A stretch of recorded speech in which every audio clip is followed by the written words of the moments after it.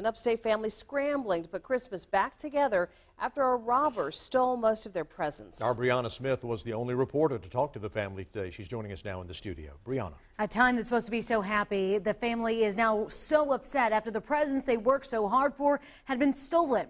But they tell me they haven't lost sight of the true meaning of the holiday. The banisters are wrapped, the wreath is hung, the Christmas tree decorated, and the presents were wrapped. Gifts gone. Back door been kicked in.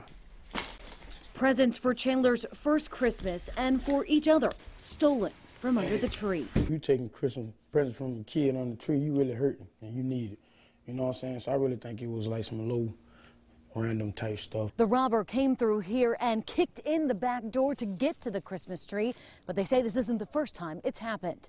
All that been messed up. You know what I'm saying? Second time.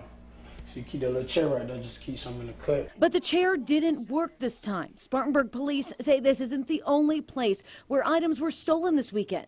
During the holiday season, they do see a spike in shoplifting. Since Friday, there were 15 cases in Spartanburg alone. Moore says his family is using the emptiness under the tree to find the true meaning of the season. They still gonna have a good Christmas. And this happened on Dr. O.C. Kirkland Terrace, right near the C.C. Woodson Community Center. If you know anything at all, the family is asking you to please call Spartanburg Police.